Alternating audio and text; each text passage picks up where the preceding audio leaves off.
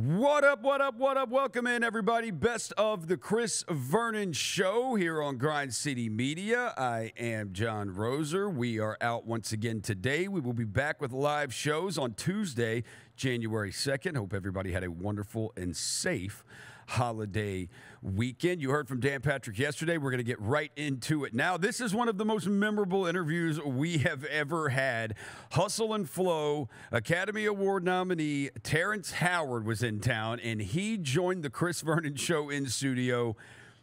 And I mean, it was just a wild ride and insanely interesting to listen to, too. And so we're going to replay that for you now. Hope you enjoy it. All right, we're back. Chris Vernon show, and oh my goodness, I can't believe he is in studio. You have seen him in Hustle and Flow many years ago. You've seen him in Iron Man. You've seen him in Empire. He is Hollywood star Terrence Howard in Memphis. Thanks for coming in, man. Yo, thank you for having me here, man. Uh, I'm sorry that it was the last minute. I wish we had planned it a little bit so we could have had some time to chop it up. We only got to talk a few minutes, but I like how you do your thing, man. You got good spirits, man. Thanks, man. So, first of all, why were you in Memphis? Uh, I'm scrolling through social media yesterday, and I called Jenna and I said, "Hold on now." I said, "Terrence Howard is in studio." I said, yeah. "All right, he's in town." I said, "You got to get him to come in with us." And sure enough, was able to make it happen. But there was a movie premiere for you. Yeah, but I appreciate the fact that you wanted me in here. Yeah, man. Asked about that. That means everything, and that's what Memphis is about most Memphians will reach out to you. It's like DJ saying to Skinny, "Come back home, Skinny, Skinny, where you at?" That that meant a lot. But I came here in an attempt. Um, Linn Sitler, I call her Auntie Lynn. She is the film commissioner for uh, the Memphis um, Film Foundation. She's she is putting together a a pot or a fund so that the young men and women within the community can still try and achieve their dreams and have a place where they can come together and have funds where they can buy equipment to shoot their own little shorts and be able to tell their stories and and and contribute to the narrative and change the pejorative that's being used as the most dangerous, violent, people. They should be violent for a reason. They should be dangerous in the sense of um, the innovation coming out of it, with their ability to question, the critical thinking. That's why they should be called dangerous, but that need to come together in order to do that. So the film is about saving your own movie theater. And if you remember, the movie theater has, from antiquity, been the piazza, the town square. You go back a couple more hundred thousand, uh, thousand years, two thousand years, it used to be a fire pit where everybody, it was a communal fire, where oral traditions and stories were told. You pop up another 2,000 years in, in, uh, across the annals of time, and now you have Shakespeare being taught. Why? Because people needed etiquette. We learned etiquette from listening to Shakespeare or watching Shakespeare throughout the mid century, and you knew how to behave. We don't have that anymore because we've been disconnected from the um, theater, which is the center of our very being, the, the main chakra. It is being destroyed. Our home tree is being destroyed, and we're standing by and letting it happen. You know, where are you going to fall in love at? You going to make out at for the first time? So that's what I'm here for to encourage the youth and the older youth to get back home. The theater is where it began for all of us. We should have town meetings there. They should have um, any kind of convention, any kind of uh, graduation. Why aren't we reaching out to the theater and booking those places? Why aren't we doing plays? Why aren't we doing lessons? Why aren't we edifying and growing together? You know, let's let's close our borders in a sense. Let's build within. We have enough talent in this city to make 20 movies and have enough places where it can be seen and enough innovators to do something about it. So that's what I'm here for. It's like what y'all did to me and waking up DJ, you know, whoop that trick. You know, you've got to be the trick you're whipping. You got to whip that little. There's a threshold guardian out there for everybody, no matter what you're trying to accomplish. There's going to be something there, and that guardian is you saying, "Are you worthy?" You got to whoop that trick, whatever you got to do, and, and be the next best person so that when they see you, they live by your example and you're never a hypocrite. It's just by what you do. So that's what I'm here for. It's an amazing answer. How'd you get that role? Um, which one? You talked about you Yeah. talked about how much it meant to you, and you Oh, talked about like and and, yeah, and you have this uh, relationship. That you will have this never-ending relationship with the city because Yeah. of that role. You know how I got that role? Stephanie Allain was the producer of that movie. She was doing a movie called Biker Boyz. Had Laurence Fishburne, um, uh, Dagger, uh, Derek Luke, um, a lot of people, a lot, a lot of people. Djimon Hounsou, really big budget, big, lots of people. There was a day in which I was doing, I had to come and do a, a, a fitting, wardrobe fitting. And that morning, I'm staying at the Chateau Marmont. Stephanie Allain has put me in the Chateau Marmont. I only have Chateau Marmont is the same place Jim Belushi died at. You know, Ja- James Belushi died at. Um, Jim, I hope you're still out there. I hope I didn't just I, I take that back, Jim. You ain't dead. Um, but it's a beautiful historic place in Hollywood, and I'm going to get breakfast at this place right on Sunset, um, and I see these four models, and they're eating, and I'm by myself, and I've got a convertible, and we we start talking, and they're fun. They remind me of people I know. So I'm like, hey, um, I'm headed to a to a a, a- a wardrobe fitting for this movie. I said it would be really great if you guys hopped in the car with me, ride over there with me while you're driving. I want y'all to, when we get there, we get out the car, everybody kiss me on the cheek, and then y'all go and have fun on the set and meet everybody. And I'll go and do my stuff. And when I come back, I'm gonna put my hand up and and I'm gonna do like this, and you, you guys see me, and then you come and hop back in the car and we leave. So we have this plan. I'm just doing it to mess with everybody. Yeah. I'm just trying to mess with everybody. So the girls, they had a good spirit. They were exotic, beautiful, beautiful women. And so we come back, we do it, and everybody on set saw how I behaved with the women. And Stephanie Allain, I think she called Craig and said, Hey, I think, and it was just me doing a joke. I was just playing a joke. And she said, "Hey, I, I know you need a pimp in a movie." Yeah, yeah, I know you need a pimp in a movie. But it turned out that it was the best experience because those girls, they were staying at the Standard, and they were doing you know calls and all of that. I had four bedrooms at the Chateau Marmont. I was there for a month. They came and stayed with me for the month. Those four women. What the They, we, we What bought, we bought easels. We bought easels. We painted. We we talked. We were just. It was like a family. We were. There was nothing going on. It was just we were people. It was the first time we were just people. Just. This is really incredibly cool. strange. It was really, real. It was. It was the, one of the best experiences of my entire adult life. You know. And, but that's how I got hustle and flow. So the, the producer calls Craig. He says, "Okay, so now you're with Craig, and now I know you guys have been friends ever since the movie." Yeah, but I didn't even want to do the movie. I didn't want to play a pimp. I was a Jehovah's Witness at the time.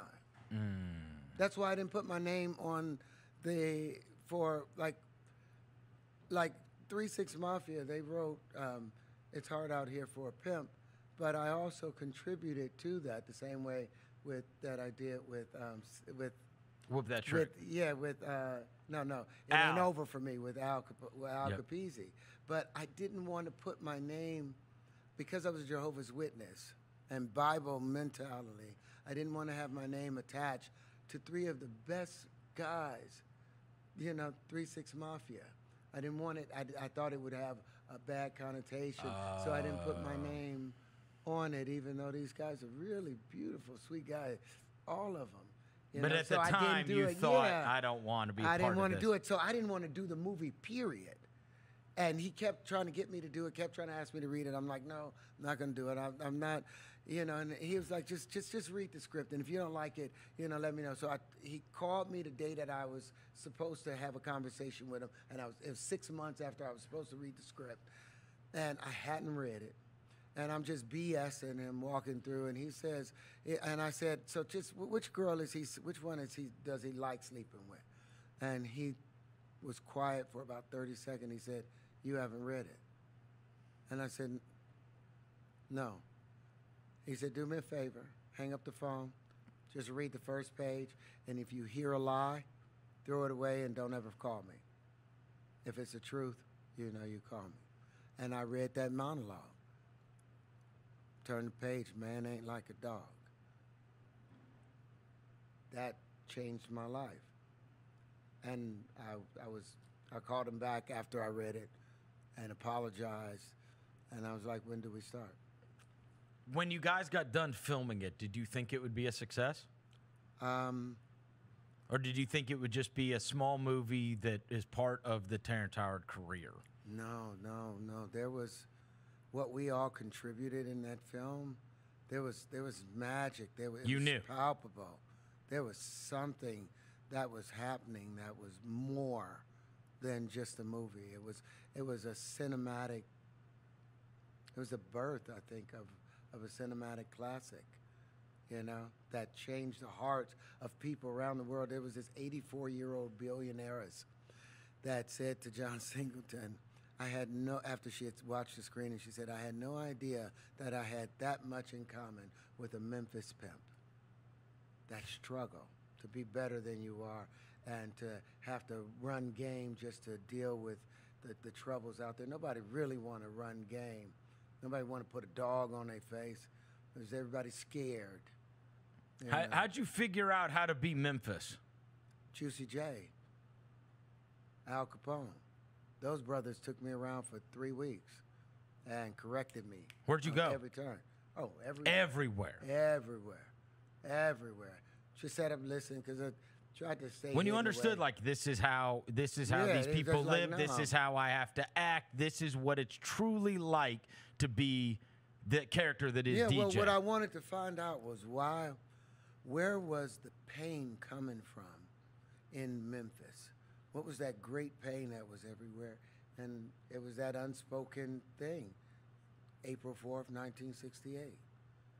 It was the loss of. you thought he admitted admitted from there. That's what you get. never recovered. It was still feeling that, and everybody it was down in themselves. And I think they recognized in DJ, you got to get up and do something. The best lines of that movie was in when I was talking when DJ was talking to Key, and he says, you know, sometimes you got to lie, you know, in order to get what you got to do. That's the reality. Uh, We learn how to lie by age four. If you don't learn how to lie by age four, you are not developing properly. It feels like uh, you and I both have a mutual friend in Craig Brewer, and it feels to me, just from talking to you, uh, even before we went on the air, your relationship with him is different than the typical actor director relationship. No, it's forged by fire. You know, when we did Hustle and Flow, there was some chafing because Craig was very particular about what he wanted. You know, he wants your head turned this way. I didn't know he had the eye, his picture. He didn't give me a storyboard, so I didn't know where he was going to have his next shot, the frame of it, or anything. So I'm trying to do me, but he's trying to do his story, and we had to try and find a balance in between so that it wasn't micromanaging, but his vision you couldn't mess with his vision with what he was creating. But so he make the movie. It's a brilliant movie. The character of who this man is. You know, he's he's Joab that's gonna go up with David and fight the, the Philistines even though they're outnumbered. He's going he's one of the mighty 30 men, the 30 mighty men that, that David, King David had. You know, that's how Craig is and the, the, the reason for it. When I did Empire, um, Empire had a logo. If you look up the logo for Empire, you'll see this silhouette of, of, of my face. Now, I was told when I got to set at Empire, when, they, when I got there, in February, no, in March, early March, late March, early April of tw- 2014, I was told that that logo that was already there, that that was a composite of me and Hakeem. I was like, oh, great. You know, and it made sense. I weighed 260 at the time. You know, I thought I was supposed to be Suge Knight. That's what they told me the character Lucious Lyon was. So I was like, let me put on this weight, let me do all this. So I don't, we didn't do a photo shoot, but they've got this beautiful silhouette. I was like, great, it looks great. Years later, as I start to thin out, I don't see Hakeem in that picture.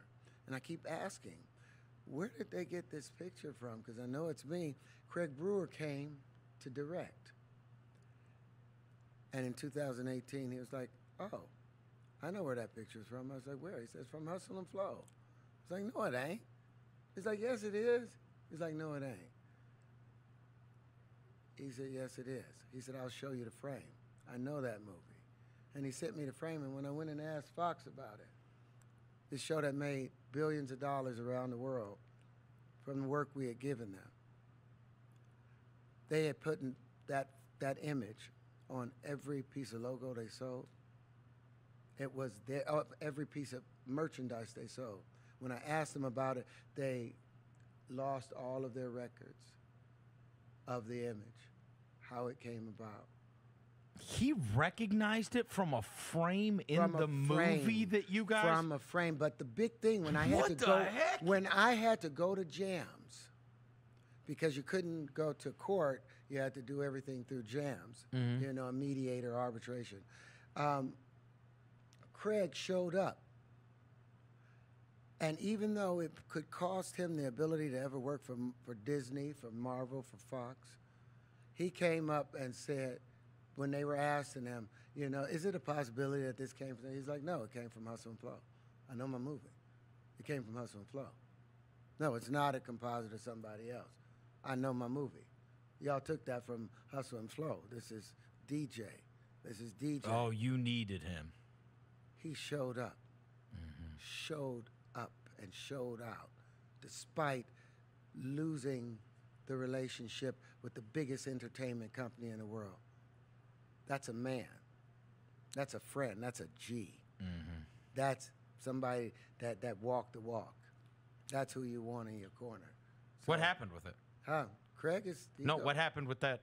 Oh, so it turns out Did the they end up having to give No, you some check out- royalties? check out this: the arbitrator didn't know that it was binding. The uh, thought that uh, what he wrote was the award was binding, and he said even though the image was derived from Hustle and Flow, Fox owns it. End of story. Terrence doesn't get anything, and he quoted things that shouldn't have that we'd never stated. So we got an appeal. We had an appeal. So now we've just done the oral arguments, and Fox's argument for why we took the image, and even if we took it, if we took it, it's okay because he signed away, gave us broad rights, so we have access to anything he's ever done. There's no stipulation that it's only for this right here in character only. They're trying to say it's okay for them to take. Mm. And it's a whole thing that we're going to war with SAG about. SAG didn't come and help me when I went and talked to him. SAG waited nine months and was like, oh, we're sorry. It definitely is a right of publicity case, but oops, it looks like the statute of limitations is gone for you. We're Oh, so boy. they didn't send a letter to Fox, how dare you do this to, to somebody. They just wanted their money. So I'm not here to, you know, we could do better as a union. I want to start a new union, mm-hmm. a thing called MyHolly.app, where all the entertainers can come together and not be limited by gatekeepers.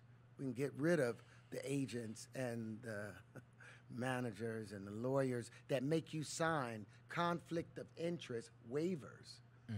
because they represent the studio also. And the conflict of interest waiver, conflict of interest waiver says that even though I'm representing you, we also represent the studio. And if we have information that may be helpful to you and may be critical to your case, we will not give it to you because of our relationship with the studios. Are you okay with that? Sign right here and give us 5% of everything you make. That's standard. There's nobody looking after us, so we've got to look after each other. What are your thoughts on being an actor um, and now seeing like we were we were talking actually yesterday, uh, the famous director David Fincher, right? I saw Yeah. he's got a movie coming out today, and it's uh, premiering on like Netflix, I believe, right? Uh, the Killer or whatever. And now we're seeing lots of movies and lots of major stars being featured in things that they just show up on Amazon Prime. They just show up on Netflix. They just show up, and they're never in a theater, Exactly. right? And I know you talked about how important the theater is to you, but what do you make of what has happened with the industry and how it has evolved um, even since, you know, in these last 10, 15, 20 years? Well, there's always a transaction, a transition um, in any reaction or interaction. That transaction and transition, it used to be a middleman. We call that a middleman, a, a, a cushion. Mm-hmm. Now, depending on the product, there's a lot of middlemen, and how far and remote and exotic the product is, there's a lot of middlemen.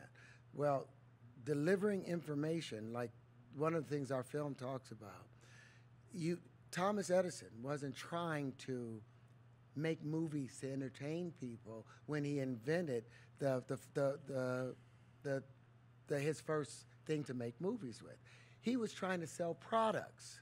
He was using it as an opportunity to sell products. And so he used the theater where everybody used to do plays, have the opera where they would have their meetings, they would have their graduations. He now made a re- deal, de- deal, de- built a relationship from the silent films that that became a big thing. So everybody now stopped dealing with the local artists and only wanted to deal with the big companies. So that's been the trend. So you cut 100 years into the future we're back there again. Now there's a new medium. They want to get rid of the theaters completely because then now they don't have need any me, eh, middleman because they can go directly to the consumer at home right here. And we can feed them enough stuff to where they can stay here because what we really want to do is show them these advertisements so they can click buy, click buy. But the problem is the theaters serve more than the purpose of just watching movies to be entertained with. It was a place where we gathered. It was a place where we, we were called to arms. It was a place where it was the, it was yeah, it was the So you resent losing this. Oh, yeah, we're not going to lose it. I'm not letting it go. You let it go, then you become a cyborg kind of organism without a heart anymore. Right. What do people bring up to you the most?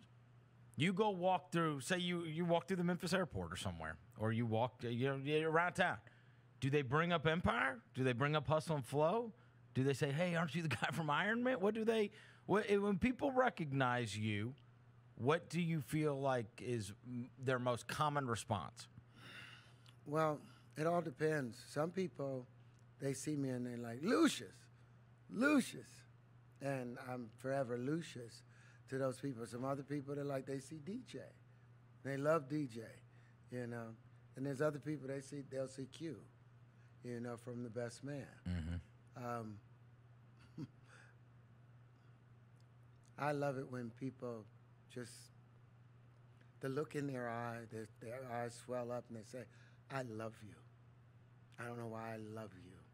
That's what I love to hear more than anything else, because when you hear that, you can't help but give it right back mm-hmm. and multiply it, and then it's like, "Oh man." This isn't an enemy or stranger. This is a friend that I just didn't realize he was my friend you know, smiling back. So that that's what I really like the most when they just do that. But people know me. I don't know for a lot of movies, a lot of stuff. Nowadays, since I've invented a new form of flight called tangential flight, the linchpin, unlimited bonding. You never heard anything about it, have you? No. Yeah, can you imagine? A new way to an- fly? An, Oscar-nominated actor invents a new form of flight that takes it from fixed-wing aircraft and four degrees of, of, of freedom to unlimited degrees of freedom. Tangential flight is the ability to fly around your own center of mass and have unlimited mid-air bonding. That means I have a supersymmetrical system, but not just that. Four supersymmetrical systems I've patented. You've never heard of that. How is that? How is that? Is it my fault? No. Okay. I was just making No. I was just making No, it's, sure. it's suppression. It's suppression. Because you know how I figured it out? What's one times one? one times one is one. To multiply means to do what? To make more, right? Yes. Increase in number, Yes. multiply. Yes. How can one times one equaling one be part of the multiplication table? It fails to satisfy the term multiply. It doesn't multiply. Does it? What's an action times an action? You got some weed. Uh, no, no, I'm asking you. What are we- Honestly, I'm doing? asking are reason. doing reason, here? reason, reason, reason. I want you to reason. I don't know. What's an action times an action? A reaction. Right? Have you ever seen an action times an action without a reaction? Have you? No. Because every because equanimity is the currency of the universe. There's always an action times a re, an action having a reaction. So how can one times one equal one? How can A times B just be A and not B? What happened to conservation? Terrence, these are late night conversations. These bro. are no. These Yeah, are, they are. This is the beginning of, of, of our understanding. It should fit. Put, what kind of calculator you got? What kind of phone you got? An iPhone. Okay, go to your calculator. Whatever the new. No, go to your Okay. calculator. Go to your calculator. All right. go to calculator. Go to your calculator. Yeah, I you got do too. You got iPhone? What are we doing? I want both of y'all to do two separate things. I want to do the same thing to start with. Turn it to the side. Okay. All right. Now I want you to both hit the number two. Did the whole calculator show up? Hit number what? Hit the number two. number Two. two. go to the square root. It is the second column from the left, third row. It'll have that squiggly Yeah. thing. All right. You One get point four. 1.414213562373095. Yeah. Holy now crap. I want you two to do two separate things now. two separate things. I want you to multiply it by two, hit times two, equal, don't you do it, Okay. and I want you to hit x to the third. x to the third, it's going to be Times third- three. No, x to the third. Oh, X. Oh, okay. I see it. I see it. X to the third. Yeah, I got you. All right. One point No, one. you didn't hit X to the third. Yes, I did. If you hit X to the oh, third, Oh, oh, I'm sorry. You're right. You're right. so I go back that. again. Okay, you so keep now yours where you are. Yeah, yeah, yeah, I'm Two, good. two Square root square root. and hit X to the third. All right. Two point eight two. 2.828, 4271, 2174, 6190. The same value you got Yeah. by multiplying it by two.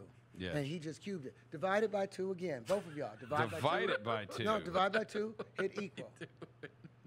Now, cube it again. Hit X to the third. Yeah. You see that loop? Yeah. That's saying x cubed is equal to 2x, which is equal to x plus x. That's an unnatural equation. That's a mathematical fallacy. And that's the beginning of your math. That's how I invented tangential flight because your math, someone programmed that lie in there and lied to you and you and everyone, and all your fundamentals are off.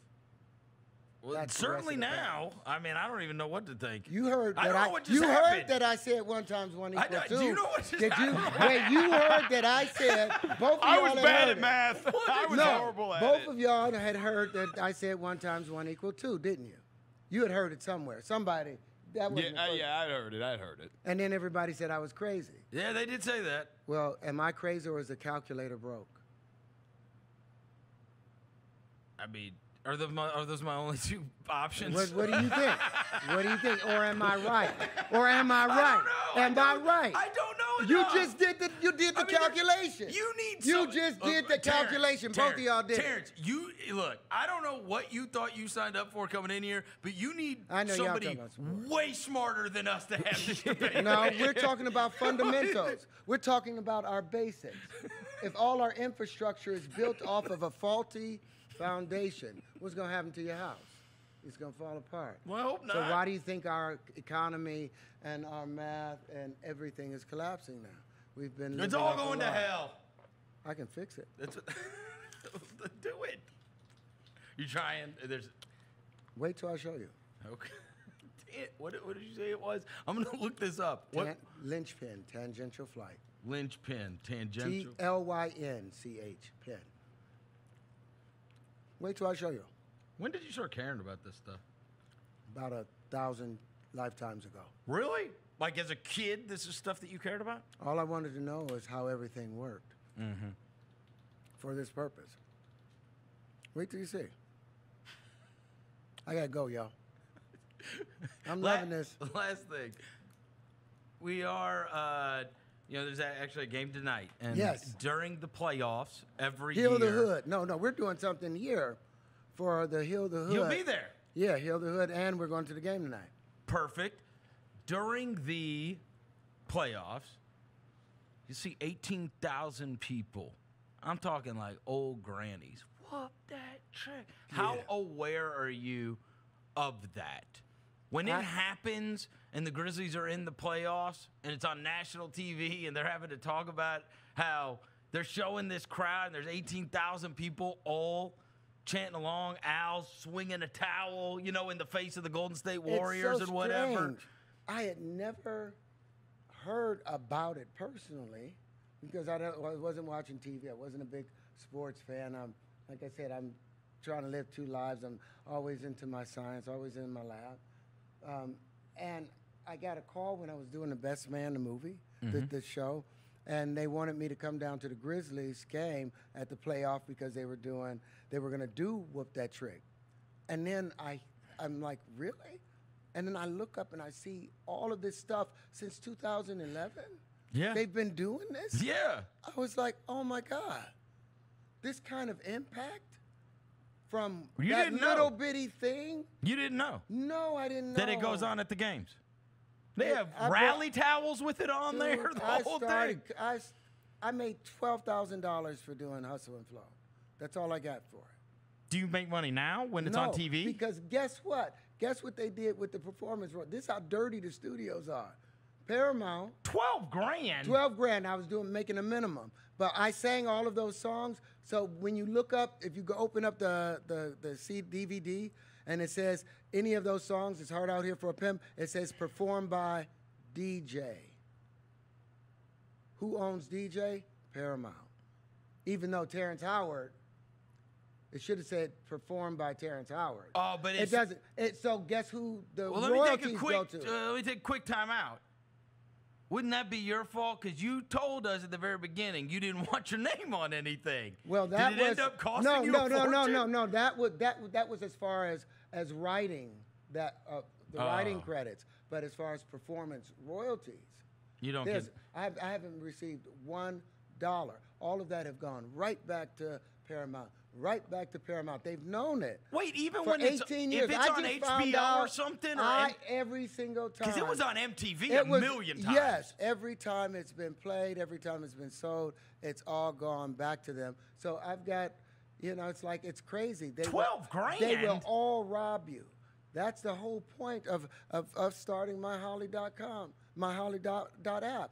They, if they're doing it to me, a veteran actor Yeah. that was represented by CAA, who should have been looking after me. But everybody's got a, hmm. Uh, CAA, their problem was, guess what? They're packaging the show.